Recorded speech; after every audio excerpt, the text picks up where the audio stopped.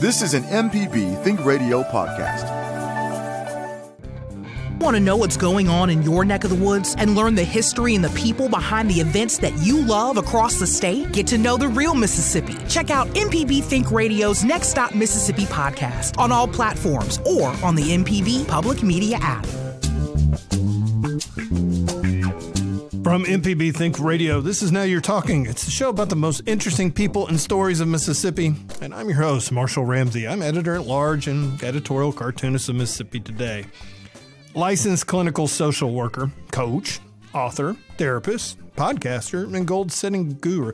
Goal setting guru. Now, that's what I need in my life right there. Definitely. We got Jocelyn Lane. She's going to be here today to discuss her newest book, The Power of Self Love. It's a self help guide on how to break free from unhealthy relationships. The book guides readers through the process of recognizing warning signs in relationships, establishing healthy boundaries, and embracing self love. And we're going to dive into the current mental health crisis sweeping the nation and right here in Mississippi, plus her career, future projects, and much, much more. Hey, by the way, thank you for listening today. I hope you're having a good Monday so far. And I don't know about the rest of the state of Mississippi, but I know in central Mississippi, this strange, weird substance fell out of the sky and it hit windshields. And apparently, this, whatever the substance is, it caused people to forget how to drive. And they like went all over the roads and everything else. It was crazy. I now somebody told me it was called rain. Isn't that H2O? H2O. Ooh, that sounds, that's like, isn't that a chemical weapon or something? I don't know. No, it, it literally rained and it thundered right about the time I was in the shower. Lightning hit right near the house. That was exciting. I've got so much titanium in me, of course. You know, I'm a, I'm a human lightning rod. Yeah. So, man, Jermaine, good weekend. It was good. It was good. I'm here. That's, You are the vertical. best. You That's- are vertical. That's the best thing. That's what I tell somebody. Yeah, I'm vertical. You know, Right. Which actually, I'd kind of like to be horizontal because that means I'd be asleep. That that, would be there, a good thing. That point there. Yeah. So the weekend for us was um, Mama needed some boy therapy, as in go see her boys. So my oldest son lives in Huntsville, Alabama. Mm-hmm. So we drove up there, which was quite lovely, and it was a nice weekend. That city is just exploding. It's amazing how it all goes up there. Right. So we went to go see him, and we took him shopping, and he took us to all of his favorite restaurants, and it was a great time. I slept on an air mattress. Which, That- that's which- comfortable. Oh, just amazing in his apartment on the floor. um, so basically, I'm now an inch shorter from that. You know, the things that Dad does. That's so nice. Uh, and we brought Pip, uh, the the amazing border terrier, with us because she has diabetes. So she, so precious. She, oh yeah, she was great. So she barked at every single human being she saw That's over the whole weekend. That's right. And then we went to where my other son goes to college, and we visited him and had a nice picnic lunch because we can't take Pip into a restaurant. And uh, Pip and could get in. she could. They'll let Pip in. Pip is more famous, I found out, than I am. All you have to do is pull up Pip's Facebook page. I mean Instagram page, and they'll let Pip in. Oh, she is. She's she's got fans. It's, it's she's incredible. She's like the old Feist dog that Farmer Jim used to have back all those years ago on radio. You know, she's very popular. But no, like I said, you know, you, we're talking about mental health today, and you know, one of the things of my wife and her parents. She's at that stage in life where her parents are not doing well and everything, and so. It's just so important for her to be able to see her boys. Yeah. And so it was great. But, you know, it was fun. I enjoyed it. And I'll be on the road this week. I will be up in Oxford and in Tupelo. well, you're going to need some therapy. Yes, I'm going to need some. No, I'm like the Tin Man. I'm going to need a can of oil. Somebody's going to have to squirt that on that because I'm walking like that right now. Get you some self love today. Uh, some self love, definitely, or the power of self love as well. I tell you what, I'm excited to have Jocelyn Lane on with us today. Um, like I said earlier in the introduction, just a long list of accomplishments. The new book out is The Power of Self Love. It's how to break free from unhealthy connections. Jocelyn, thank you for joining us. It's an honor to get to meet you officially via radio. Thank you for having me. I'm excited to be with you guys this morning. How are things on the coast? Things are things are good. It's uh, partly cloudy with a little bit of beach added, so things are good. Partly cloudy with a little bit of beach added. That'd be a good T-shirt. That'd be great. Yes, I'll have to I'll have to coin that one. I'll have to coin it. So um, now I know you you know you got your degrees. You were at Jackson State and so forth. Are you from the coast originally, or did you just kind of migrate your way down that way? I am not from the coast originally. I am originally from a small town in Jasper County, um, Bay Springs, Mississippi. That's where I was born and raised, and I attended college in Jackson and met a man and got married, and that's how I ended up in on the coast. How awesome is that? that? That's a pretty cool story. So, but obviously you've you've developed a good practice down there, and you know, obviously, if anybody's been paying any attention whatsoever, particularly since the pandemic, I, I would say, and this is the cartoonist view who slept in a Holiday Inn last night. I actually slept on an air mattress, but um, we have, I, I would say, we have a mental health issue crisis in this country. Uh, you know, I think people, everybody seems to be angry. If you get on Facebook, you can kind of tell people, or you know, it seems like everybody's unpacking something right now. and you're you're right there on the front lines. I mean, you're you've got clients, you're dealing with this day in day out. Is that kind of your sense too? Do you feel like that just people can't quite put their finger on it, but they're just full of some kind of angst? Um, yeah, absolutely. I think um, since COVID, um, there has definitely been an upswing in anxiety and depression because of course we were all isolated from each other. That's right. And we're not meant to be alone. you know, that's not good for our psyche and that's not good for our emotional health either. So while we may have people that are introverts and, you know, they kind of say, well, I like being alone, but you have the option to go out whenever you're ready and, you know, engage with other people.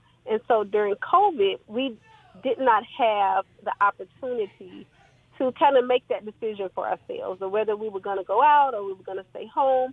So for a lot of people, it was very depressing. And, you know, on top of that, feeling like if I go outside, I may contract this illness that I can't see. And what happens to me if I contract this illness?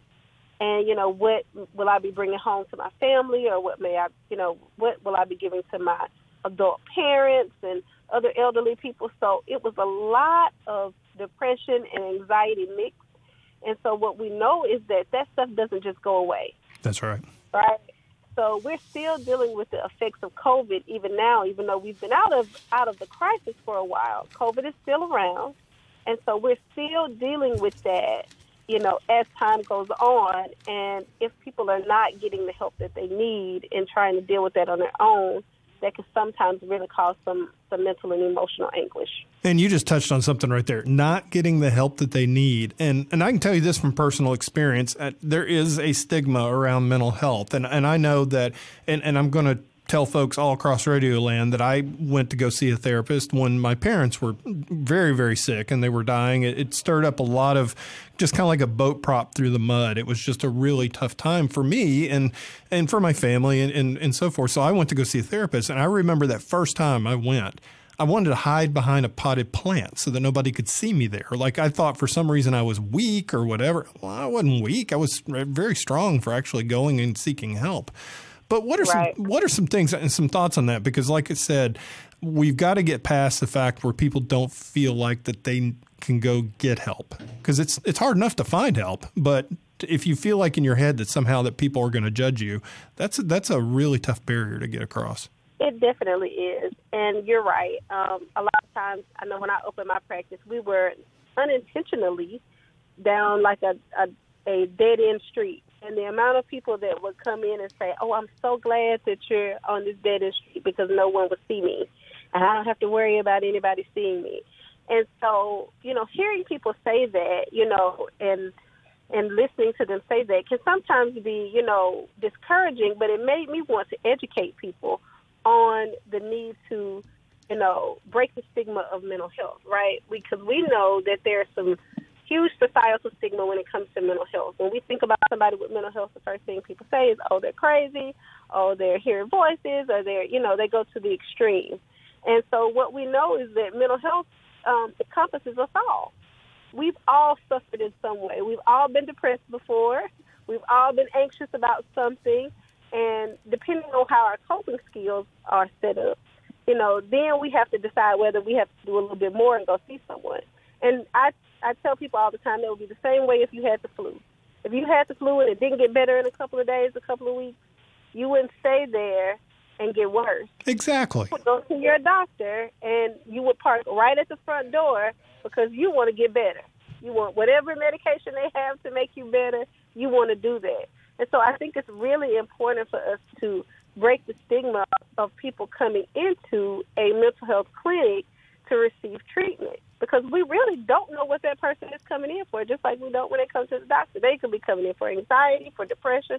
We don't know. But the, that stigma is there, and it's so strong that we just assume the worst when we hear people talking about going in to see somebody in mental health. Okay, I just want to let you know I'm standing on the desk saluting right now, just to let you know. I mean, you you got me saying amen. My hands are in the air because um, you're right. Because I mean, we don't like I said.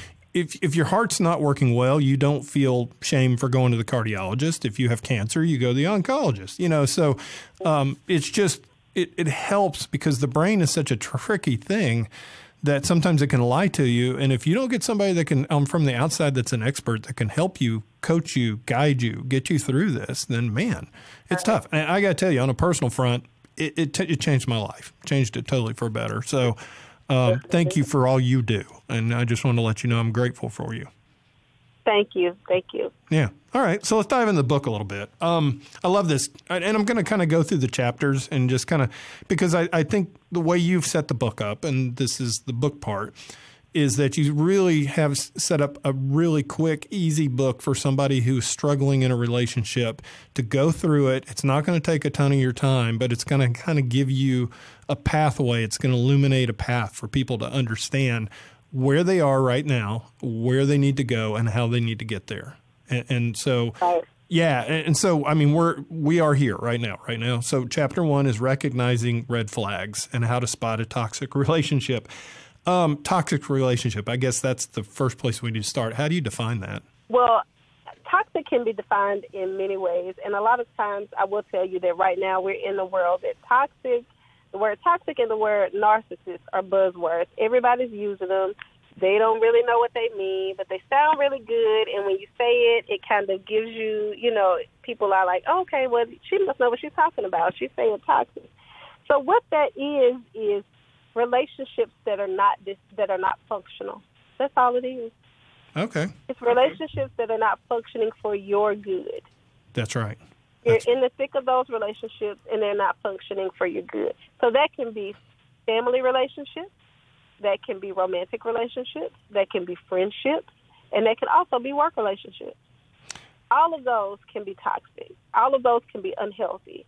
Well, how do you spot them? I mean, because I mean, everything from I know, you know, you talk about it's a lack in respect of boundaries, and we hear boundaries thrown around a lot. Uh, but what how do you recognize your boundaries are not being respected and even know what a boundary is?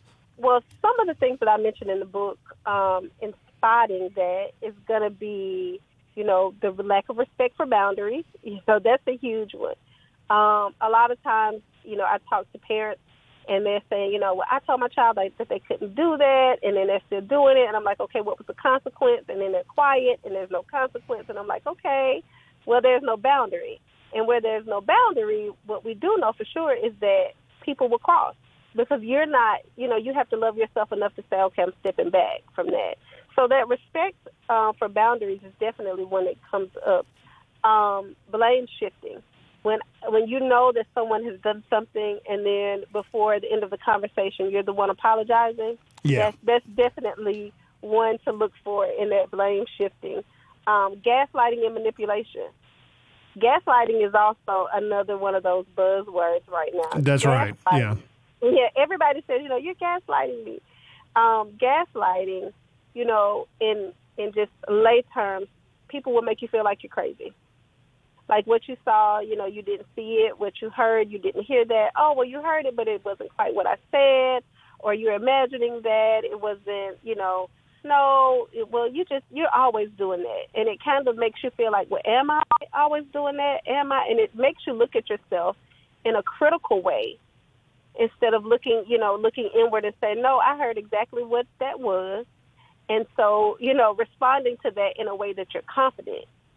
But instead, it makes you look at things in a way that you know makes you self-critical, and sometimes that can be harmful to who you are as a person and to, you know the boundaries that you set up. Because if you're looking at yourself and you're critical of everything you're saying how good are your boundaries going to be?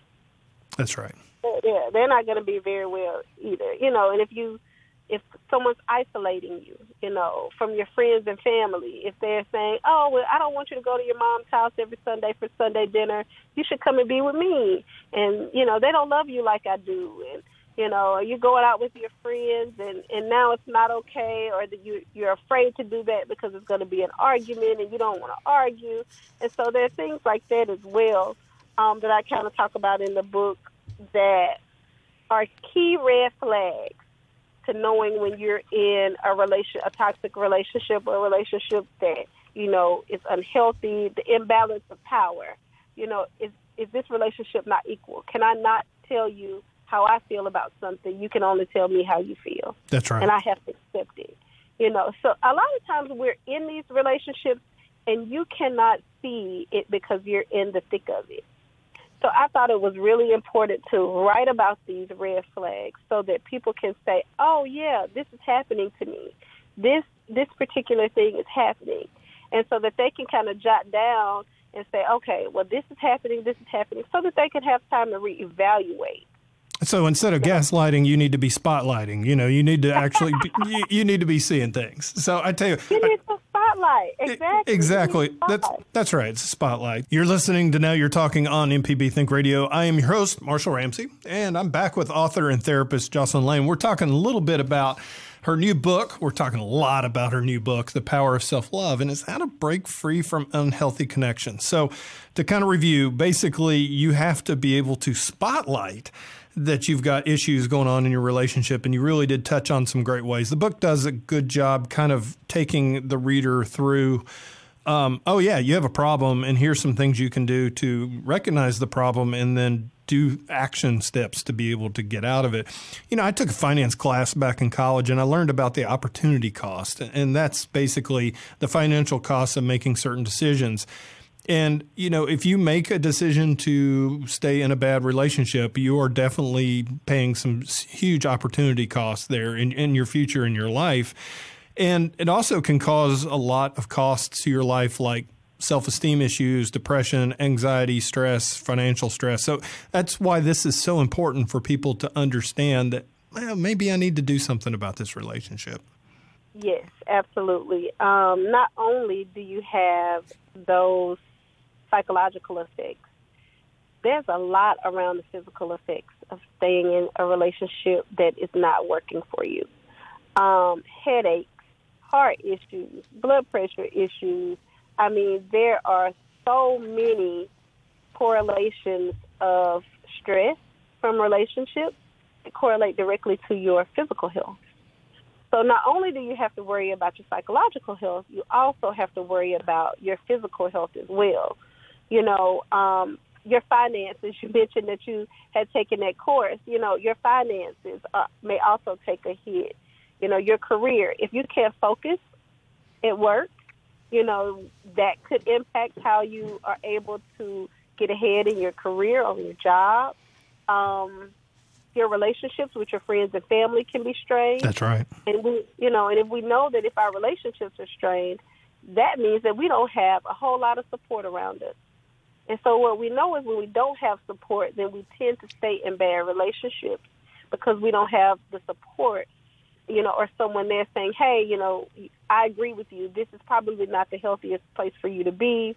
You know, you need to revisit this. So it can take a toll in many ways on us. You talked about low self esteem it causing that, but I think a lot of it sounds like that you know, when you're in a bad relationship, you're probably dealing with bad self-esteem anyway because the boundaries issues and so forth like that. And and I think that's where the power of self-love really comes in, isn't it? Is being right. able to, to to have enough confidence and enough faith in yourself to say, you know what, I, I matter, and and I need to be, right. you know, I need to get out of this situation because this isn't good for me. Right, and doing a lot of self-reflection. Yeah that's key as well. You know, a lot of times we don't take the, a moment to step back and look at ourselves and say, hey, have I contributed to being in this space? And if I have, how can I love myself enough to move forward? So self reflection is key. Um, taking a hard look at where you are, understanding that you don't have to stay there. If there's an opportunity for you to move, it's an opportunity for you to grow. Because what's the alternative if you stay in that situation? You know, um, what happens to you? That's right. You know, I would I would much rather leave and take my chances on having a happy life to, than to stay in something that I know is going to be detrimental to my mental health and my physical health. Oh, that's that's so hard though. Mean, that, that sometimes it's hard because you know you're thinking, oh, I have this reason or this reason or this reason, and and and I love what you wrote uh, Uh, there was a line you wrote that just really jumped out at me. It said, "If you don't love yourself, it's hard to believe anyone else can love you." Which, mm-hmm. wow, that I mean, mm-hmm. that that's strong as onions. Right, right. How can I believe that anyone else would love me if I'm not loving myself? Right. And and with that, you know, there's that energy that you're putting off if you're not loving yourself. And people can pick up on that energy. Believe it or not, they can pick up on the energy that you don't have good self-esteem. They can pick up on the energy that you don't do any self-reflection, that you have no boundaries. And if you get entangled with a person who can take advantage of you at that point, you know, that can lead to a really hurtful relationship. And it can take years for you to come out of that. So we really have to remember that, you know, it's okay to take small steps to um, leave the relationship.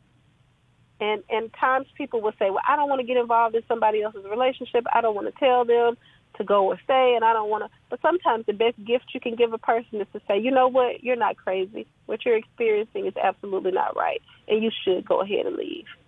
Yeah, if you get a hold of somebody like a narcissist or something, man, it's uh, it's it's over because I mean they will they will feed off of you like a shark on chum.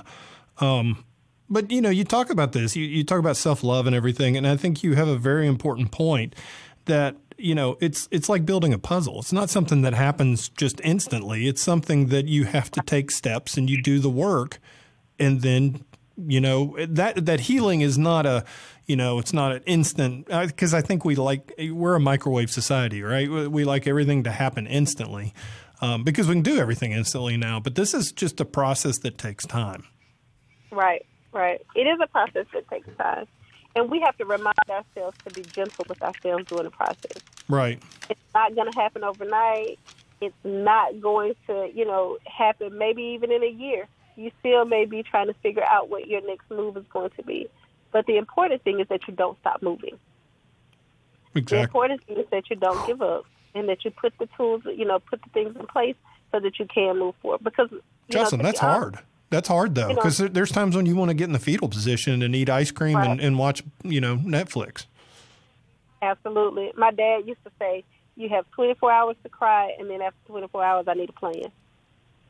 I like your dad.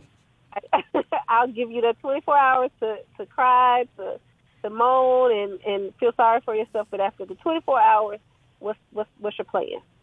You know. But if you don't have somebody that's there that's helping you, and that also recognizes that your emotional well-being is not good, then it can be difficult for you to move forward. And so that's what I mean by being gentle with yourself and recognize some people really have to have a plan in order to leave a relationship. They can't just pick up and, and go. They have kids, they have jobs, it may be some financial things going on. They may not be in in a place that they can financially pick up and leave. So this may be a plan, you know, a longer term plan for them. So sometimes you have to be a little gentle with yourself, but also stay on track so that you can get to where you need to get to get out of that relationship. All right, I'm going to be nosy for a half second. Have you ever had a moment in your life when you had to have a 24 hour cry and then come up with a plan to be able to make a major life change? Absolutely. I've had several. yes, yes, I have. Okay. I have had I have had that. Um, I was married for 19 years and decided to end um, a 19 year marriage. Oh, Jocelyn, that's hard. Yeah, that that's yeah, with a daughter that's a senior in high school. yeah. So trying to maneuver all of those pieces and you know all of that and trying to get her ready for college was a huge transition. But I knew that I needed to make the transition. Had I not made the transition, where would I be? So this isn't yeah, this isn't just you writing a book. This is stuff that you've lived and you've been there. Stuff that I've lived, yes. This Yeah. is stuff that I've lived and that I've been there. And so that's why I thought it was really important, even as a therapist, to be able to, um, you know, to be able to have the conversations because people sometimes look at therapists as like superheroes. Right. You know, and that, oh, if you're a therapist, then everything in your life should be perfect. And that's not the case. We're still human beings. You know, that's a, like that's like saying a doctor should never get sick. You know, because you should have all the answers. So, myself, I had to get into therapy to recognize some of the patterns that I was living and then I had to recognize and come up with a plan in order to exit that relationship. And it was a very hard decision to make, but it was a necessary decision to make. That happens a lot. I, you know, I'm at 30 years, and you know, my youngest is 16, and I'm not leaving my wife, uh, Amy, just to let you know everything's okay. But I, but we Don't see, leave your wife. Don't leave your wife. no, but I mean, we see some of my my kids, my older kids, particularly their parents. You know, it seems like when the kids leave the house, then they call it, I guess, a silver divorce or something like that. But basically, and, and that seems to be you see a lot of it about that on the news, and so it's a tough thing. But I mean, you know, marriages are and relationships they have seasons and they have cycles, and you, you have to really work to keep them going and keep them fresh, don't you? Yes, you do. You do. And um, the the good thing about that, because I did, you know, the therapist had a therapist. So the good thing about that was that I was able to recognize my part. And a lot of times people don't don't you know own up to to their part of the situation. I had to recognize my part.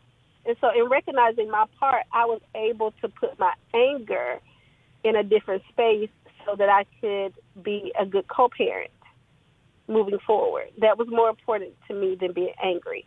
And when I sat down with my therapist and she said, okay, so you've made your decision. Okay, so what are we doing here? You know, what are we doing? And so I was in a position where I was now having to give the same, you know, having to take the same advice that I give to my clients. That makes you a better therapist, though. vul- Yeah. put myself in a vulnerable space, you know, to say I don't have it all together. You know, I am in a relationship that I need to get out of. Um, and how do I do that? You know, how what plans have I made? You know, so a lot of the things that I talk about in the book are real things that I did in my life to move forward. And because I was able to do those things with the help of, of my therapist, you know, and just living some of those things, you know, you got 24 hours to, to cry and you need to come up with a plan. And so because I was able to do those things, you know, now I'm able to, we're able to, to do things together as a family and all of that. So Oh, that's fantastic. Yeah. instance to be, you know, a gift and a curse per se. You know, I, I we're now able to, to laugh and talk and chuckle with each other and also spend time with our daughter and it not be a toxic toxic situation. There's no arguing, there's no finger pointing because we did the work to get to a better place. That's right. You did the You know, work. We, we weren't, yeah. Right, right. We weren't able to do that work together, but we were able to do that work separately so that we could come together to be the best parents that we could be to our daughter. I, got to tell you this, and, and I, don't, know about your experience, but one of the things that I learned, of course, the brain is literally the part of your body that uses up the most energy, and and to help save energy, it makes shortcuts, right? So we tell stories, we cut through things, we see things, we instantly put them into a different pot. We literally run on autopilot. You know, we don't realize it, and and what I realized was that man, I I've been a total jerk, you know, because it, and it wasn't that I was doing it on purpose. It was just that I was reacting to things that happened to me when I was young, and so suddenly I was placing things that happened to me in current day in those same pots that you know that happened to me as a kid because that's easy, right? So I had to learn how to break that cycle to be able to be a better husband, a better father, a better employee, and everything else. And that's why I mean that's one of the things I did appreciate about your book was that um, I think any kind of relationship you have that it helps you just kind of wake up and you know use that spotlight analogy to be able to see what's really going on around you so that you can you can you can make that plan and do that work. And and you talk about setting boundaries and saying no and, and that's so hard especially if you do have self-esteem issues because you don't want to disappoint anybody right? So Right, right. yeah. So no is like oh no you know it's hard to get it out. It's the hardest two letter word in the world. It's also the most liberating two word in the in the word Right, world too. right, right. Absolutely, absolutely, absolutely. so you talk about codependency and so forth and we hear that a lot. That's another one of those fancy words. Um, but that's just a cycle isn't it? It's kind of a pattern. Mm-hmm. And I will tell you that a lot of people who are codependent that started in their childhood. yeah So if you're not dealing with childhood issues, then they follow you um, into your adulthood. you know, and being afraid, you know, what type of attachment do you have? Are you an anxious attachment where you have to really talk to that person all the time and you're calling them all the time and you're texting them all the time? You know, are you able to let them be who they are in the relationship? You know, so a lot of times that codependency follows us and it manifests in ways that are not healthy in these relationships. So we really have to be careful and once we see ourselves doing that, or if we see our partner doing that, that we're able to, you know, pull back and say, hey, you know, let's look at this situation a little bit differently. Because that person may not even recognize what they're doing. Yeah, I, I, yeah, I've always heard it kind of, you know, a lot of times when you don't know what you're doing, and it's it's kind of like you're in a waterfall, and and really your superpower is being able to pull yourself out of that waterfall and being able to look around and see what's actually going on in that moment. and that's exactly what it kind of sounds like. Mhm. Absolutely. So it again, you know, we have to go back to that self reflection. You know, it starts there. It start it really starts there when you can take a step back and look and say, Hey, this is not the way that this is supposed to be going.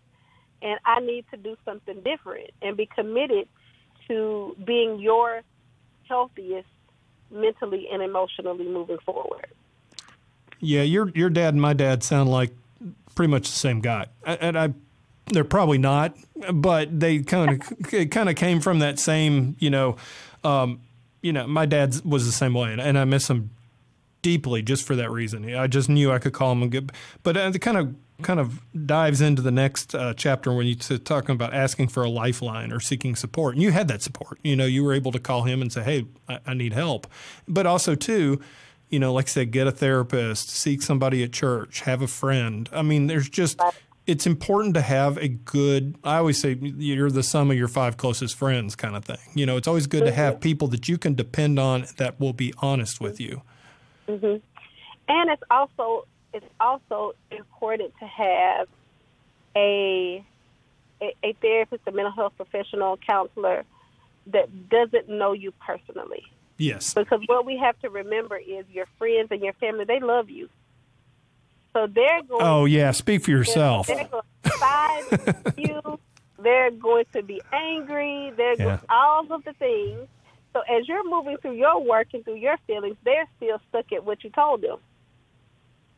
You know, so it's important to also have that support, but also get the you know the support from a person who doesn't know you personally, that has no, you know, they don't have anything in the game. You know, they are just a person that you're going to talk to, like you would just go into your primary care doctor and tell you exactly what it is. Because during those times are times when that person is going to say, well, did you consider that maybe you did this? Or have you considered that maybe you could have handled this a different way? And a lot of times your friends and family won't tell you that. You know, so it's important to have that because this is the this process is doing some internal work as well. And you have to do that internal work so that you don't end up in another relationship that's unhealthy. Yes, that boy right there. If I had a bell, I'd be ringing it right now. Because um, that's the thing. If you don't do the work and fix it, then you're going to end up just repeating history over and over and over. You repeat what you don't repair. That's right you know. And so if you're not repairing it, if you're just going over it and not having the, the necessary conversations, then you are doomed to repeat that. You're listening now. You're talking on MPB Think Radio. I'm your host, Marshall Ramsey. It's Monday. Thank you for listening. Glad to have you here. We got a good shows today. I hope you've been enjoying it. And I'm back with author of The Power of Self Love, Jocelyn Lane, who is a therapist down on the beautiful Mississippi Gulf Coast, who is on with us today via via the uh, the whole telephone thing, which is kind of cool. Man, Jocelyn, this has been great. Thank you, and I think you've given us some good tips. Like I said, you just to kind of review, you got to kind of recognize the signs that things aren't working out real well. You need to uh, obviously because of uh, you know you need to make sure you practice self love and take good care of yourself. And I think we're at the point now where talk about rebuilding yourself in the healing process. And and you've been through a breakup, you know what it's like. It's really tough. And you know the temptation is to do all the wrong things to do instant gratification to make yourself feel better in that moment when you're feeling miserable. But those are going to do long term damages. So you got to do some real important things to help yourself heal and to move on to the next destination. What are some of those things?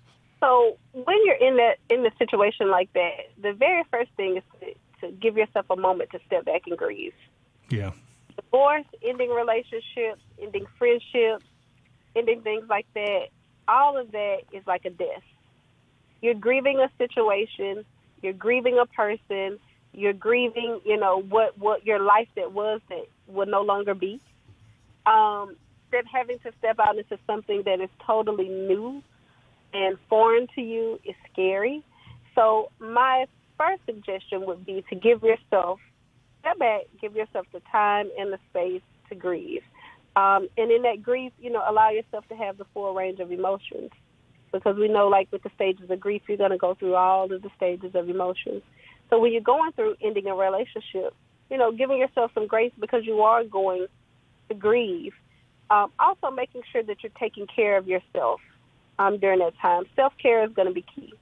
A lot of times when I talk to um, women and men who are in situations where they have left relationships or left jobs or their spouses spouses passed away and they're in the transition moment, I always ask them, "Well, what do you like? What's your favorite food?" And, a lot of times they're stumped because they don't know. They haven't really thought about it. You know, a lot of times for moms, they like whatever their children like. So if I say, "What's your favorite ice cream?" They're looking at me and they're saying, "Well, I eat cookies and cream, but I really, really, really like vanilla. But I get cookies and cream because that's what my kids like. That's what they get, and I don't want to buy two ice creams." So sometimes you forget all of the things that you like. You forget who you are as a person. So going back, taking that step back, involving yourself in some real self care. I'm not talking about just maintenance stuff, getting your nails done and your toes done and all of that. I mean real self care where you are really taking care of your emotional and mental health and figuring out who you are as a person. Um, doing some yoga. I think yoga is great, is a great start to um, some of that. Even just like revisiting some of the things that you liked before you were in a relationship. Did you like to cook? You know, maybe you can start back cooking. Figuring out what those things are that you like so that you can engage those things that make you feel good, that make you feel like, you know, you are important.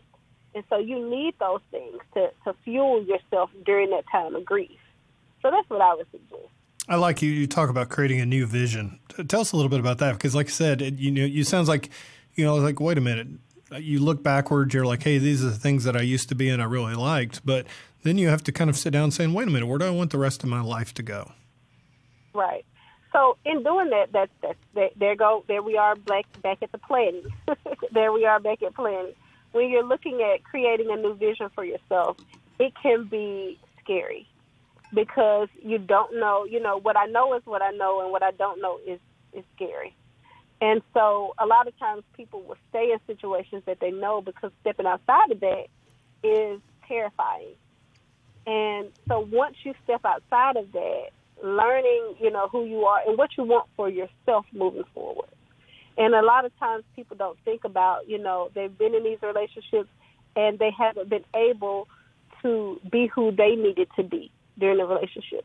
So they are confused and they're scared. And so stepping back, trying to figure out, giving yourself some good self care so that you can figure out what the vision for your new life looks like. And so that you can walk authentically into that new vision, into that new life, so that you make sure that you don't um, continue with the same patterns of unhealthy relationships. You know, in chapter eight, you you talked about communicating effectively, and and I can tell you this, and like I said, I'm not giving away anything in my marriage that Amy wouldn't agree with, so I'm not I, I'm not that stupid, right? So I'm not going to get on the air and get myself an instant divorce.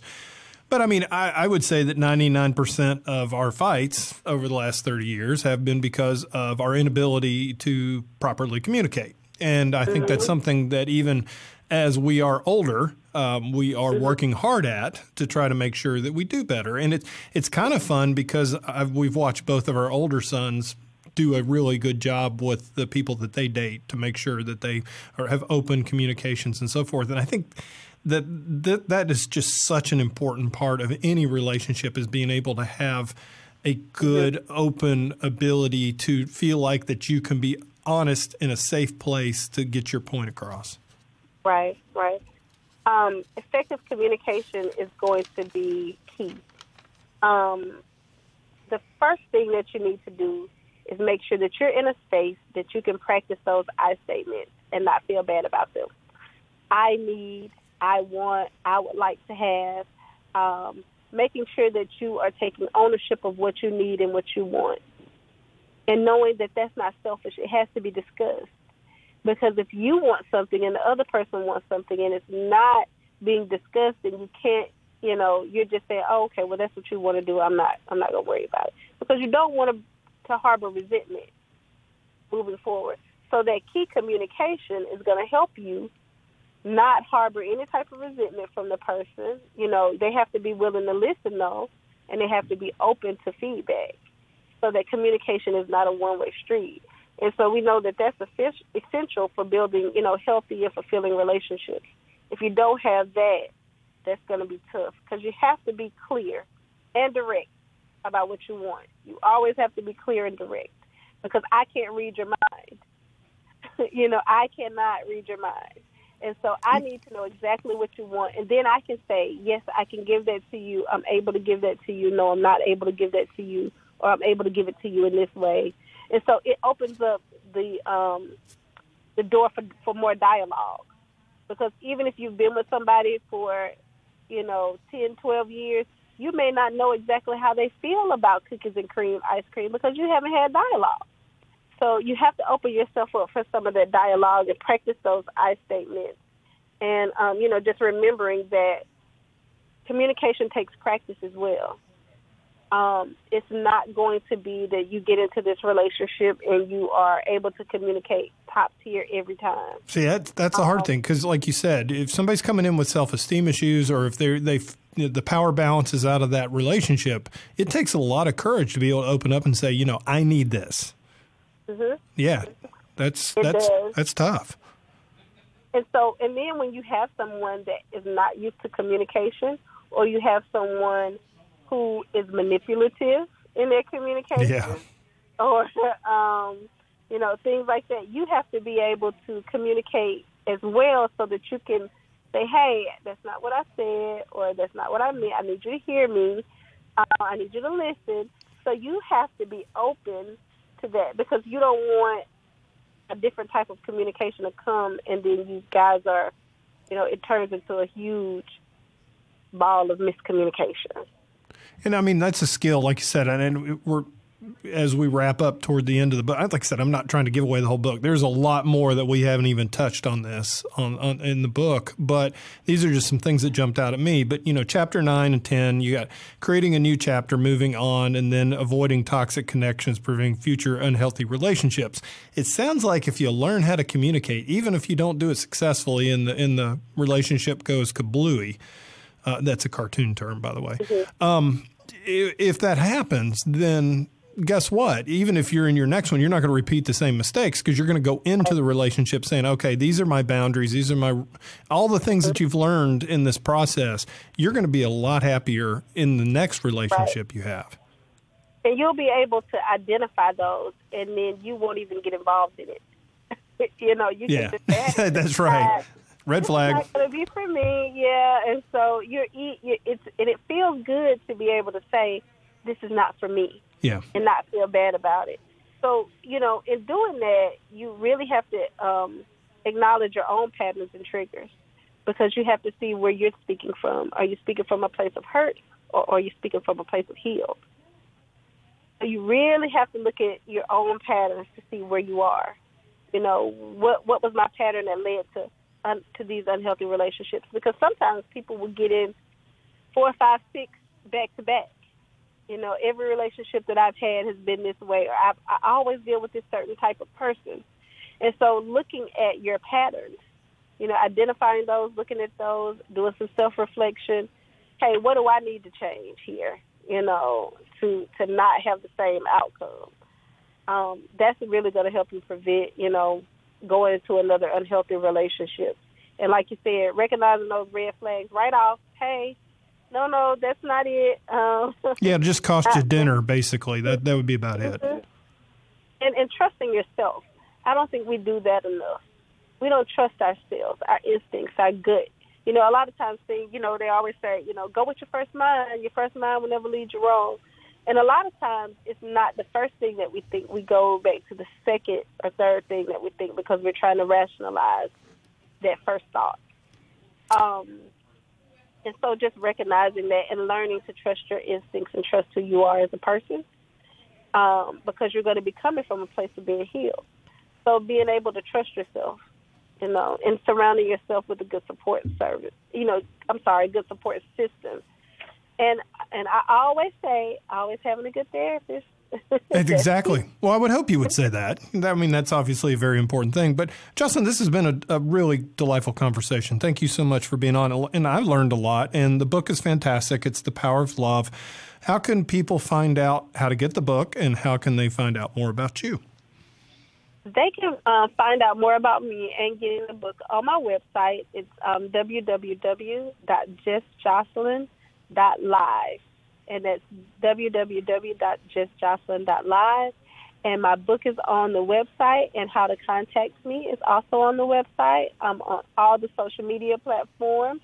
I'm on Facebook as Just Jocelyn, your favorite therapist. I'm on Instagram at Just Jocelyn, your fave therapist, and I'm also on TikTok, Just Jocelyn Therapy. I think you'll get a kick out of my TikTok videos, um, as well as uh, Twitter at the same handle. So they can. I'm on all the uh, social media platforms as well as the website. So I would be happy to hear from anyone who has questions about it. In the last 20 seconds, what little bit of wisdom would you give our audience? Um, no pressure. Some some people think that holding on makes us strong, but sometimes letting go makes you stronger. Amen. Amen. That's that. Yes, that right there. You know, it's funny because I do a big thing when I go speak. I talk about grabbing the rope and you know water skiing and everything. But yeah, sometimes you just got to let go, and that, that's great. Justin, it's been great. It really has. I've really enjoyed it. The book is fantastic, um, and you really gave us some great wisdom today. Thank you so much. Thank you for having me. I appreciate it. Well, thank you for listening today, and a special thanks to our guest, therapist Jocelyn Lane, for joining us today. And if you'd like to hear this or any past episodes, well, guess what? You can subscribe to the podcast on your favorite podcast app or on our MPB public media app. And more and more of you are doing that, by the way. Uh, you're listening to podcasts.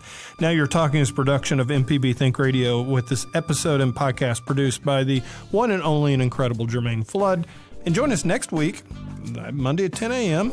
I'm Marshall Ramsey. I hope y'all have a great week. Really do. Thank you for listening. This is an MPB Think Radio podcast. To hear previous shows, visit MPBOnline.org or download the MPB Public Radio app to listen on your iPhone or Android phone on demand.